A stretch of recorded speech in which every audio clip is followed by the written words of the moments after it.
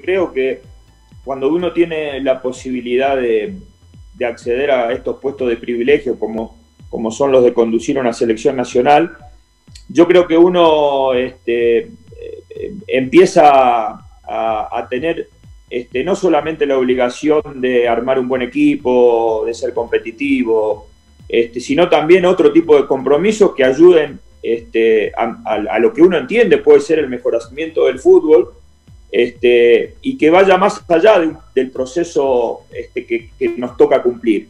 Este, dar una mirada que, sea para mejorar en el futuro con otros entrenadores, quienes sean los elegidos, pero que en definitiva dar una visión de alguien que viene de afuera y lo que observa es que hay cuestiones o decisiones o reglas o leyes que van en contra del mejoramiento del futbolista local, ¿no? Entonces, un poco es nuestra obligación cuando, cuando accedemos a estos lugares tomar ese tipo de obligaciones y tomar ese tipo de, de, compromiso que exceda este, el tiempo laboral que nosotros estemos comprometidos con un país.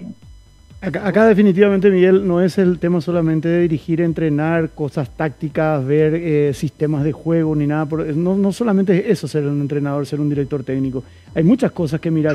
Yo, recuerdo también lo, que, lo que había sucedido, por ejemplo, cuando Bielsa asume en Chile, se reúne con el departamento de árbitros y le pide que se juegue más porque Chile se cortaba mucho, o sea, cosas así. O sea, el, trabajo de ustedes no es solamente seleccionar 11 tipos que tienen que correr, o sea, es mucho más eh, el, trabajo, Miguel. Además, cuando vos le preguntaste Bueno, a ver, Salvador, si uno, si uno quisiera hacerlo así, lo puede hacer así. Yo digo que, la obligación es otra, ¿sí? O sea, si uno quiere eh, decir, bueno, lo mío es hasta acá, lo mío es seleccionar a estos 30 jugadores, ser competitivo, clasificar, ir al mundial, hacer la mejor mundial posible. Y en realidad yo creo que excede un poco eso, ¿no?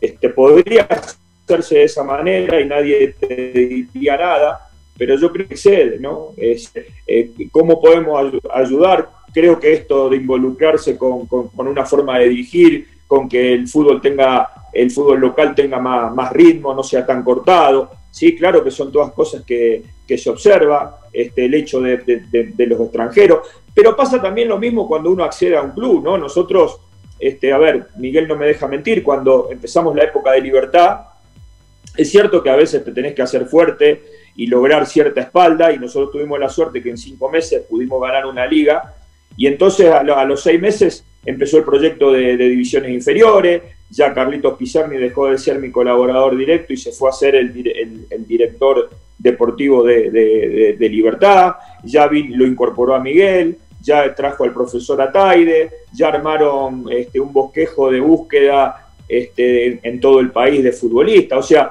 lo mismo que uno hace en un club también lo hace en, una selección. Lo que se trata de que esto trascienda este, la, la